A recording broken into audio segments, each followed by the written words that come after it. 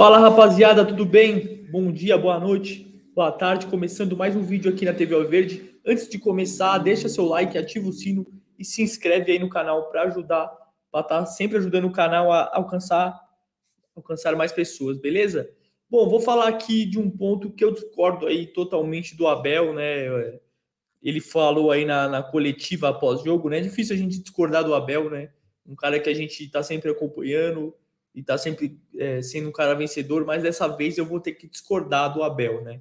É, ele falou aí após o jogo do Palmeiras e Corinthians, né, 3 a 0 ele foi contra, né, o toque, né, o olé, ele foi contra, falou que isso aí é, é, não é respeitar o adversário, mas eu discordo aí totalmente do Abel, acho que isso faz parte do futebol, é, é e o Palmeiras nem tava brincando, não é fazendo embaixadinha, não é tocando fazendo toque de letra. O Palmeiras estava tocando a bola de lado e nem chegou a fazer isso muito tempo, né?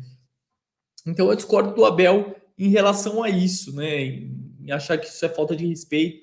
Isso aí tem que ser feito mesmo, porque se for o contrário, vão fazer também com a gente. Eu acho que tá ainda mais uma, o maior clássico aí, um dos maiores clássicos do Brasil, o maior clássico de São Paulo. Eu acho que não concordo com o Abel nesse ponto, ele tem a visão dele. E eu quero saber de vocês, né? Porque isso tem dado muito é, na internet aí, né? Estão falando muito sobre isso. E eu quero saber o ponto de vista de vocês. Vocês concordam com isso? Vocês não concordam? Vocês acham que o Olé faz parte do jogo ou é uma falta de respeito? Deixa a sua opinião eu quero saber a sua opinião quanto a isso, beleza, galera? Mas é isso aí, vamos aí. É, Quarta-feira tem Libertadores e hoje tem live de noite aqui na TV Alviverde.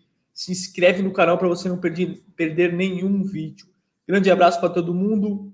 Valeu.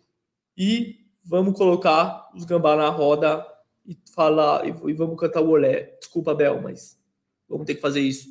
Desculpa.